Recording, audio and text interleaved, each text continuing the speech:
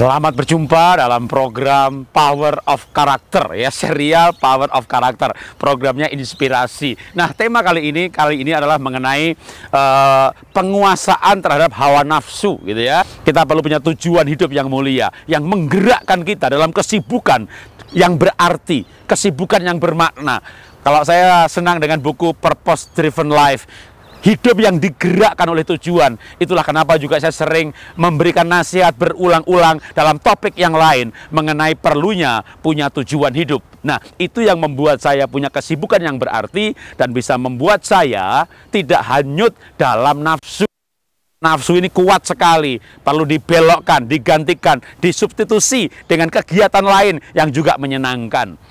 Dan kalau mau lebih hebat lagi, nah selalu diakhiri dengan bergaul dengan Tuhan. Pasti Tuhan akan memberikan kemampuan untuk kita menjalani hidup ini dengan kekudusan.